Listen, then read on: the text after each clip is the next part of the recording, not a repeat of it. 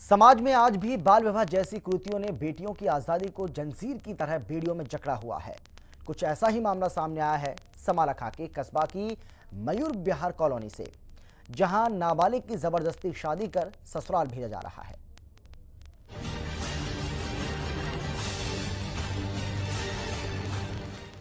बाल विवाह की बेड़ियों में जकड़े समाज में आज भी बेटियों की कम उम्र में शादी करा दी जाती है। जिसकी वजह से कई मासूम जिंदगियाँ नरकीय जीवन जीने को मजबूर हैं।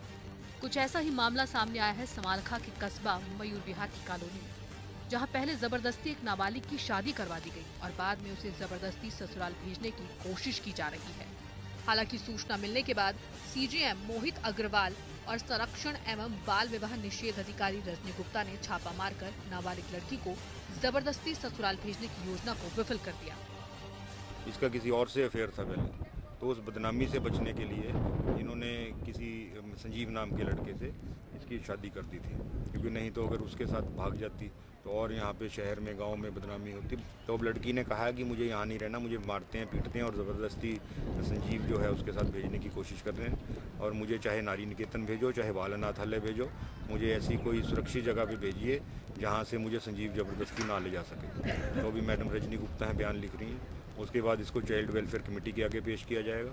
वहाँ से जो भी उचित समझेगी चाइल्ड वेलफेयर कमेटी वैसा ऑर्डर पास करें ये जो भी शिकायत आई थी, इसमें भी मेरे पास फ़ोन पर यह सूचना आई थी कि नाबालिग लड़की है, जिसका विवाह 25 जुलाई 2017 को सोनीपत में कर दिया संबंधित अब ये था कि जो लड़का है वो इससे मिलने के लिए बार बार यहाँ पर आ रहा था और घर वाले दबाव बना रहे थे कि इसको वापस ससुराल भेजा जाए।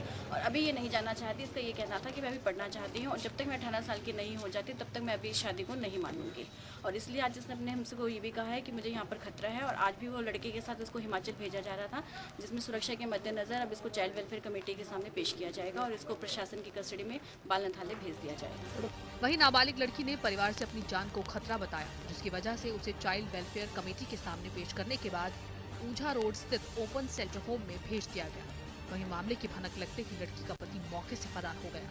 फ़िलहाल महिला अधिकारी ने नाबालिग की शादी करने पर एसपी सोनीपत को उसके परिजनों के खिलाफ कार्रवाई के लिए पत्र लिखा है।